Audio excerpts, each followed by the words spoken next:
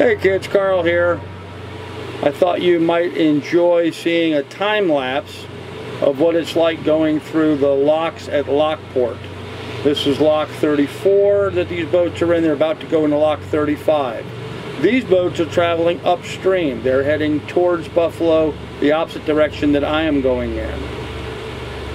This particular boat, or, or lock, they have six boats in at one time, a couple of them buddied up against each other.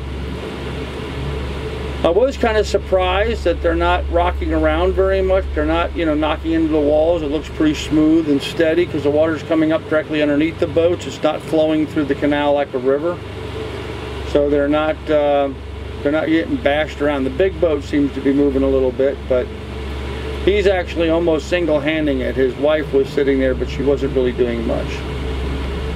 Anyhow, they're almost to the top of this chamber, and then they're going to move into the chamber for 35.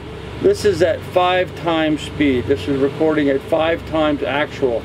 Takes about a half hour to go through this lower and upper lock here. Okay, so here they are about to top the tide pool.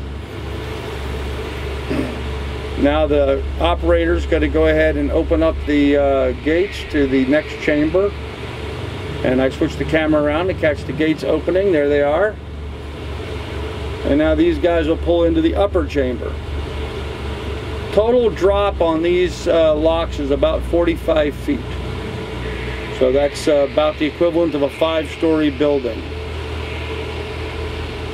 They do it in two parts. There's the first two boats, third boat,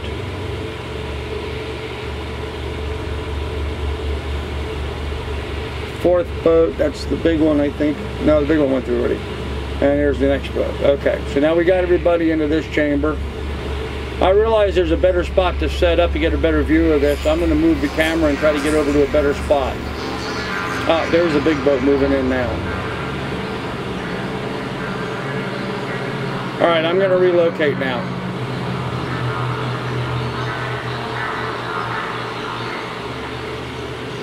Closing the doors, and I move.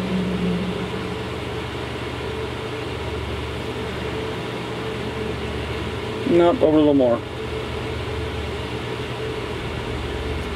There we go. Now they barely let these boats get in the chamber and grab the lines on the side. They already start pumping the water in. They do not hesitate or wait around very long. They jump right on this and we're getting the water in there pretty quickly.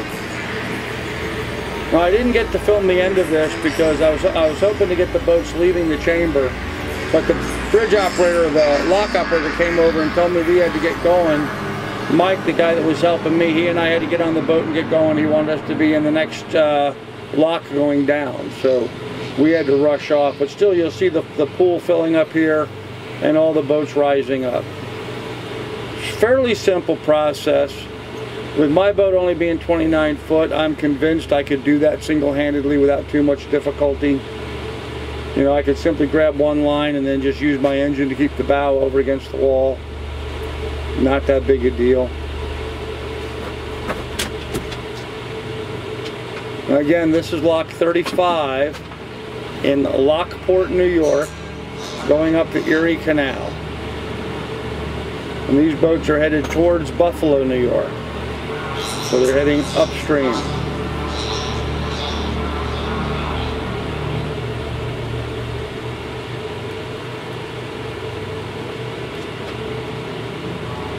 Well, and there you go. I got to run and go jump on my boat, so we'll end this here. Please do like and subscribe, and hopefully we'll catch you later, guys. Bye.